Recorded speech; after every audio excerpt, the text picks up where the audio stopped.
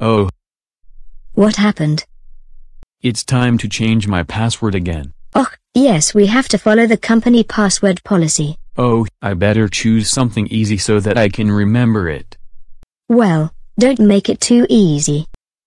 Your password should be easy to remember, but hard to guess.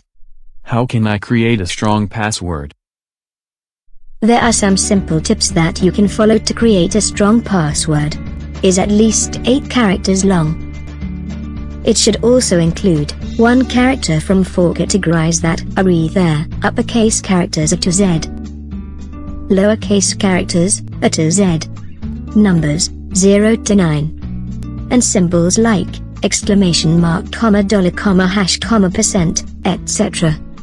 And it shouldn't include your username or full name as is. Thank you for the advice. We hope that you enjoyed watching this video and make sure you follow the tips to be secure and safe. Don't forget to comment,